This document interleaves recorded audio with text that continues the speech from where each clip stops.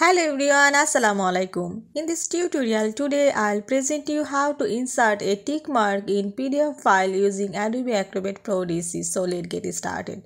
First I open a PDF file and now I want to insert a tick mark in this section. So I go to tools menu and select here fill and sign and press open. And my file is ready to insert tick mark. This is the option.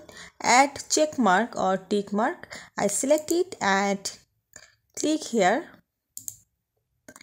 You can increase or decrease this tick mark in this a options. Just click it and it will be decrease and when click there the tick mark will be increase you can increase or decrease this tick mark just hold the mouse and drag on. And you can change this tick mark color just go here and select a color. I select it black. And now I insert another one tick mark just I select here.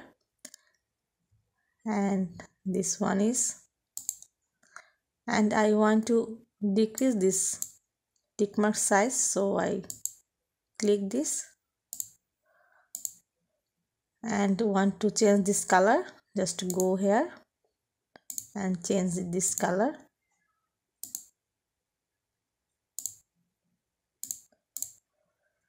And now press close. You see I add or insert tick mark in my PDF file. So viewers, I hope you'll enjoy this video. Thanks for watching and don't forget to subscribe my channel. Thank you.